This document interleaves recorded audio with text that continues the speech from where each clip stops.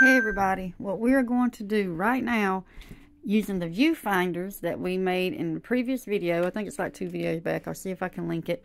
We did homemade viewfinders. Now I'm going to use these viewfinders to move around this old painting I have of the wooded landscape behind my house. I made it months and months ago. I'm use the viewfinders and move around this painting to find smaller versions of paintings that I like. I'm going to isolate areas of the painting that I find interesting with the viewfinders. It really helps. Um, I sprayed the back of the painting because my initial idea was to use them for collage and I didn't want harsh edges so um, you can just ignore that step unless that's what you want to do. I wanted the edges to be a little frayed.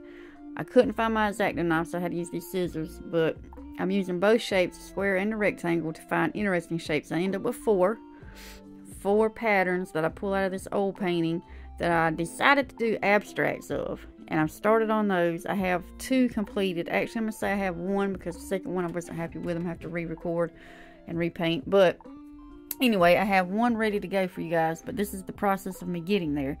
And then I glue them down and I number them. One, two, three, four. They're going to be like an abstract series once I'm finished. Or that's the plan.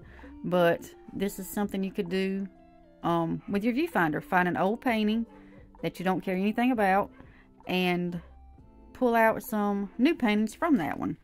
Okay? You guys have a great and wonderful day, and I'll see you later. Bye.